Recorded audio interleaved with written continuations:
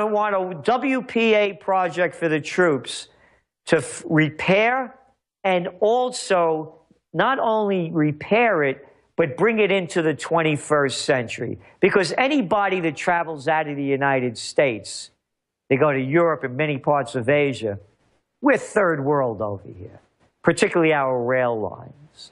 So, that would be very different to rebuild our infrastructure instead of the foreign infrastructure, wouldn't it, Gerald? I'm looking, when we're preparing for this debate, I'm looking at what these GOP candidates have as their issues on their websites. And I see all of them talking about, oh, we've got a debt problem. That's a favorite topic of the GOP. But then right next to it, because most of them will put these issues in alphabetical order, right next to the debt is defense. It's like, you guys don't see the connection here? Over half of the money that we're spending is on all of these foreign wars that we're starting. You can't balance the budget, Republicans, without getting some kind of a balance in your outlook about what's going on with foreign policy. Stop the foreign entanglements and go back to the original uh, founding fathers' ideas you just pointed out. Again, and you pointed it out as well. And what you're saying when you put it together, you know, doesn't anybody get it in their head? What, according to Stiglitz in that, that report that he did, we're spending over $6 trillion in just Afghanistan and Iraq. Could you imagine what six trillion dollars would do for for this country, yeah. where we would be at since this war on terror began? And now the, the next element of this, in talking about Congress, is that, as you well know, Congress has not voted to go to war since World War II. Yes, yes. So we're going to demand that Congress vote. We're in Syria now. How could they take this is against the principles of this nation? It's they are traitors. They are traitors to the nation, to the Constitution, and to what this country was founded upon. Call them who they are. They are traitors for going into war against Syria without Congress voting for it. And you know, Gerald, it's, it's, Congress that has abdicated their power in this area. They could care less. They don't really want to have to have a vote where they have to do up or down. They would like to just say, well, it's the president that did it because the other party can always blame it on him. The Democrats can blame it on George Bush. The Republicans can blame it on Obama. But whether it is war or whether it is treaties or whether it is legislation, they, they push it off to the president. They push it off to the bureaucracies. Congress doesn't do anything anymore. That's why we can't rely on these politicians. That's why we need issue based movements like what you're doing with Occupy Peace. That's the only way that we're going to get this.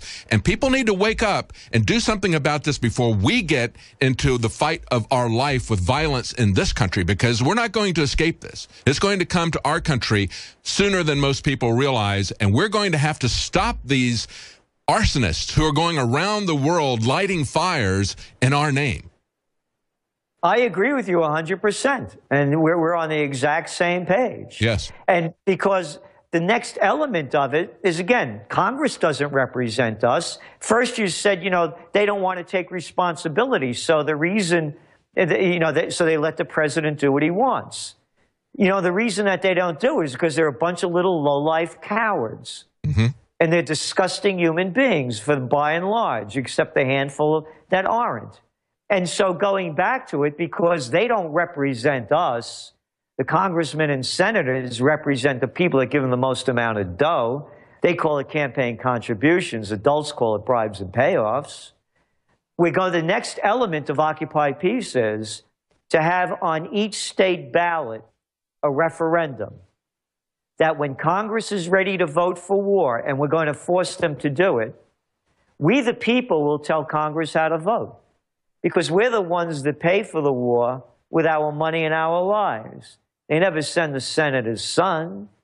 That's all right. these guys, all these little boys and girls that'll be at the, the presidential reality show tonight, they'll all talk tough about war. Then which one of them is going to lead the charge? Which one of them is going to tell their sons and daughters to go sign up and, and fight? How about none? But every one of them will shoot off their fat little mouths and talk tough, and there's not a man or a woman among them. There's not a real fighter among them. So that's why we're launching Occupy Peace to rebuild America. I was on with Ron Paul a couple of days ago, who a man I greatly admire, uh, and the, the only person I would have voted for, I've said that in writing and on the air when he, when he was in the race.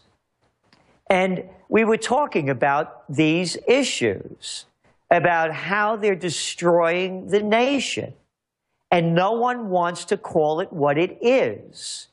They are ruining our lives. And Congress is not a Congress. That's why Donald Trump could run over them. He knows what little gutless boys they are. This guy's ruthless. Yeah. He, you, you go in New York, east side, west side, all around the town, Trump, Trump, Trump building, here, there, everywhere. the guy is a ruthless, driven. He, these guys are no match for him. So that's what we're looking at. And I'm, we're launching this because we are on the march to war. And this is what I was talking about with Dr. Ron Paul. History is repeating itself. You said the violence is going to be sweeping here.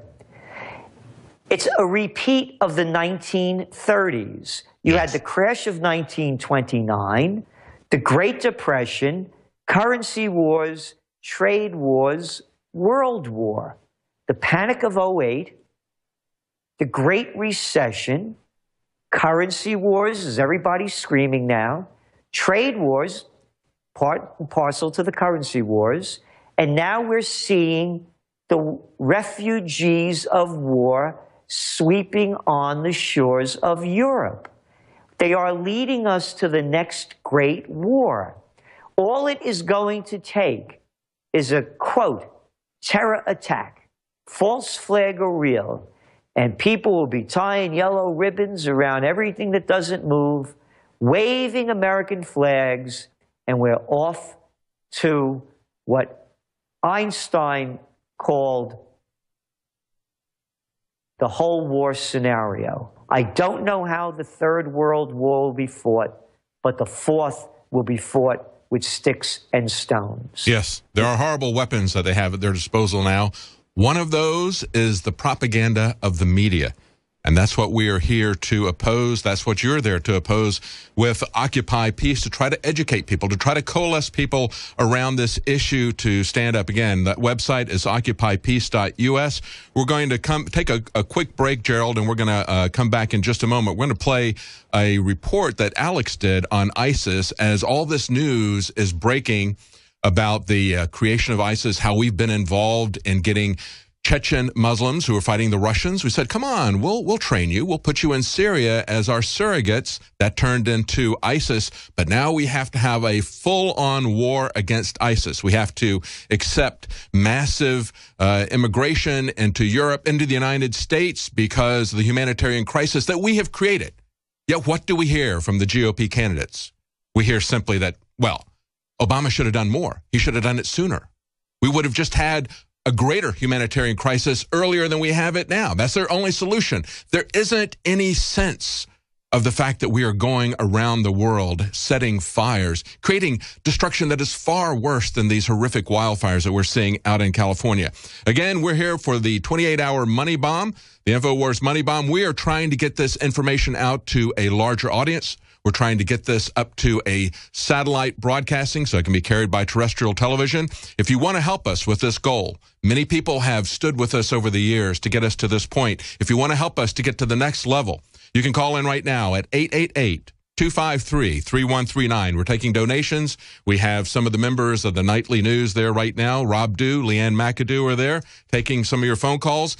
If you want to help us and uh, you want to get a special, we've offered specials to you as well for this special uh, Money Bomb broadcast. We have 20% off of Survival Shield X2, Super Male Vitality, Brain Force, Silver Bullet. We have 15% off of Deep Cleanse, Secret 12, Oxy Powder.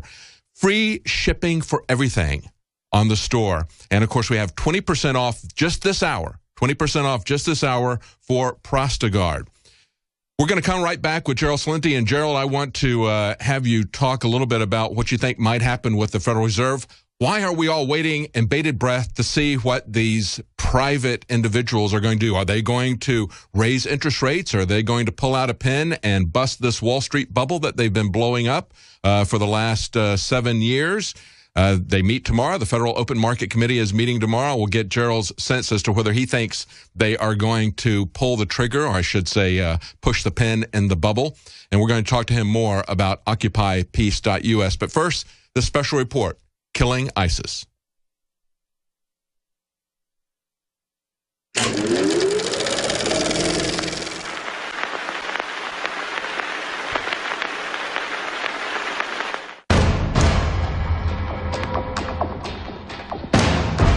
This is the new face of evil. This is what nightmares are made of. Ruthless, cold blooded killers on a mission to wage war, to annihilate millions of people. We are their enemy, and they will stop at nothing to destroy us. All measures should be taken in our defense.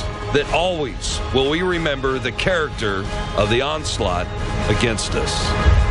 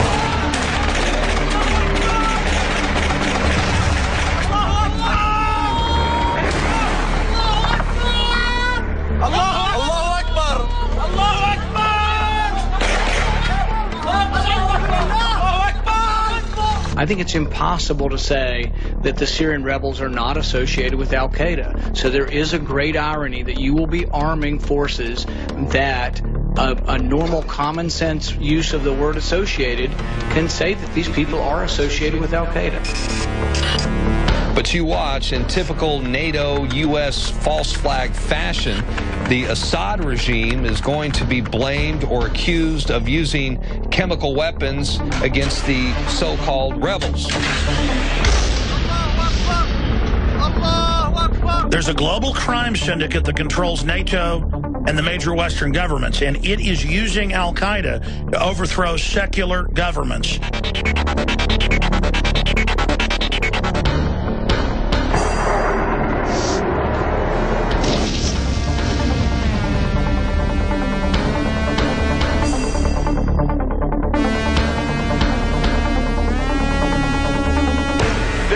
Breaking news now from the war in Syria, and this could be significant. Reports that chemical weapons have been used in that conflict. These are some of the scenes now circulating on the internet of distressed children apparently suffering the after effects of a chemical attack. Some of the video footage is too distressing to broadcast, and it is unverified. But there are scores of dead, among them very young children. Good afternoon, everybody. Ten days ago, the world watched in horror as men, women, and children were massacred in Syria in the worst chemical weapons attack of the 21st century. The Assad regime, and only undeniably the Assad regime, unleashed an outrageous chemical attack against its own citizens. After careful deliberation, I have decided that the United States should take military action against Syrian regime targets. We can tell you beyond any reasonable doubt that our evidence proves the Assad regime prepared for this attack. I've watched debates in Congress. A congressman asked Mr. Kerry, Is there Al Qaeda? People say they've gotten stronger. He says, No. I say officially, they aren't there. The main combat unit, the so called Al Nusra, is a unit of Al Qaeda. They know about this. It's not pleasant for me to see this. Well, we communicate with them and assume that they are decent people. He lies openly, and he knows that he lies. We're not really positive who uh, who set off the gas. I mean, the, per- the group that's most likely to benefit from that is Al Qaeda. Did President Bashir Assad gas his own people? Not according to a growing number of skeptics,